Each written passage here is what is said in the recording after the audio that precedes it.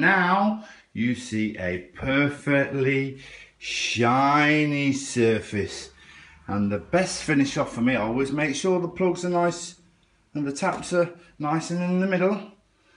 And to finish off, I put a little bit of bleach in the bowl just to give that lovely smell in the kitchen of freshness and leave that to soak. And then there is the end product. A lovely shiny kitchen.